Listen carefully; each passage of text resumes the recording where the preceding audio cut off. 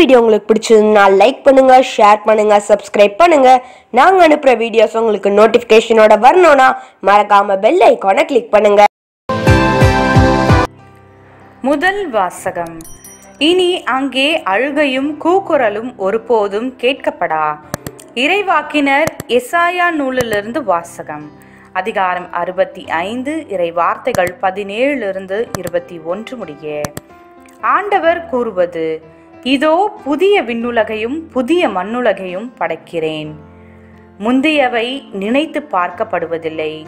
மனதில் எழுவதும் இல்லை. நான் படைப்பனவற்றில் நீங்கள் என்றென்றும் மகிழ்ந்து களி கூறுங்கள்.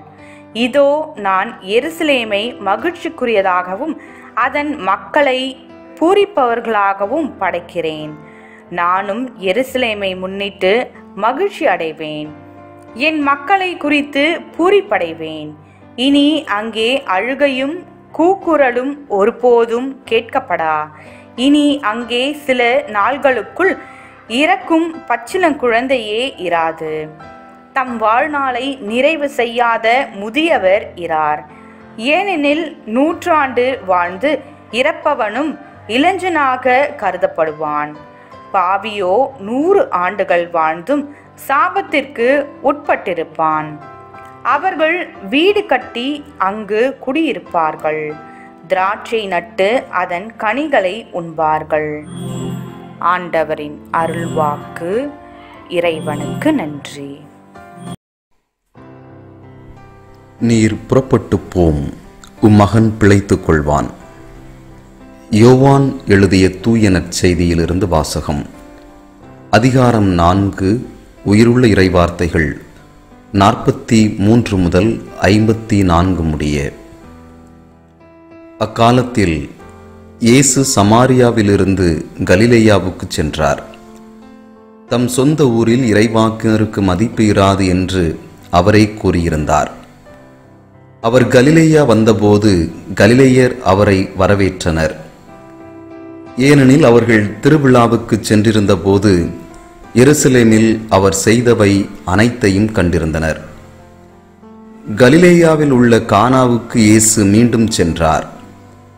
அங்கேதான் அவர் தண்ணீரை திராட்சரசம் ஆக்கியிருந்தார். கப்பர்நாகுமில் அரச அலுவலரின் மகன் ஒருவன் நோயிற்றிருந்தான்.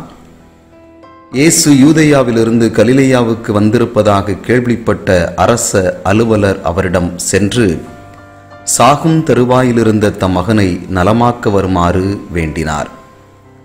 இயேசு அவரை நோக்கி அடையாளங்களையும் அருஞ்செயல்களையும் கண்டாலன்றி நீங்கள் நம்பவே மாட்டீர்கள் என்றார். அரச அலுவலர் இயேசுவிடம் ஐயா என் மகன் இறக்கு முன் வாரும் என்றார். இயேசு அவரிடம் நீர் புறப்பட்டு போம் உம் மகன் பிழைத்துக் கொள்வான் என்றார். அவரும் இயேசு தம்மிடம் சொன்ன வார்த்தையை நம்பி புறப்பட்டு போனார். அவர் போய்க் கொண்டிருக்கும் போதே அவருடைய பணியாளர்கள் அவருக்கு எதிராக எதிர்கொண்டு வந்து மகன் பிழைத்து கொண்டான் என்று கூறினார்கள். எத்தனை மணிக்கு நோய் நீங்கியது? என்று அவர் அவர்களிடம் வினவ அவர்கள் நேற்று பிற்பகல் ஒரு மணிக்கு காய்ச்சல் நீங்கியது. என்றார்கள். உம்மகன் பிழைத்துக் கொள்வான் என்று இயேசு அந்நேரத்தில்தான் கூறினார் என்பதை அவன் தந்தை நினைவு கூர்ந்தார். அவரும் அவர் வீட்டார் அனைவரும் இயேசுவை நம்பினர். இயேசு யூதாவி யூதையாவிலிருந்து கலிலேயாவிற்கு வந்த பிறகு செய்த இரண்டாவது அரும் அடையாளம் இதுவே. ஆண்டவரின் அருள்வாக்கு கிறிஸ்துவே உமக்கு புகழ். ஜெபம். தாயும் தந்தையுமான இறைவா உம்மை போற்றுகிறோம் புகழ்கின்றோம் நன்றி செலுத்துகிறோம். அற்புதங்களையும் அதிசயங்களையும் கண்டாலன்றி நம்ப மாட்டீர்கள் என்ற இறைவார்த்தை. எங்களுடைய சாதாரண வாழ்க்கையில் ஒவ்வொரு நாளும் நடந்தேறுவதை நாங்கள் பார்க்கிறோம். ஆண்டவரை இறைவா அடையாளங்களையும் அருஞ்செயல்களாலும் அல்ல மாறாக ஆண்டவர் இயேசு கிறிஸ்துவின் இரத்தத்தினால் நாங்கள் மீட்கப்பட்டுள்ளோம் என்பதை எங்களது தினசரி வாழ்க்கை செயல்களில் வாழ்ந்து காட்ட எங்களுடைய ஒவ்வொரு நோய்கள் நொடிகளிலிருந்து நாங்கள் இயேசுவின் இரத்தத்தினால் விடுவிக்கப்பட்டு உமது அன்பு பிள்ளைகளாக வாழ அருள் தாரும். ஆமேன்.